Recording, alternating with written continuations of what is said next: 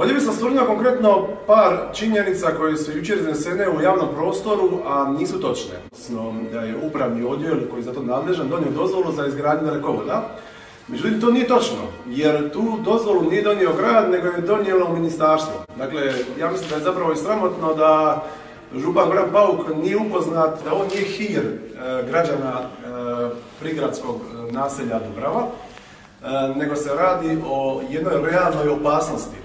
Elektromagnetska zračenja od dalekovoda ovakve snage izazivaju, odnosno potencijalno mogu izazvati rak,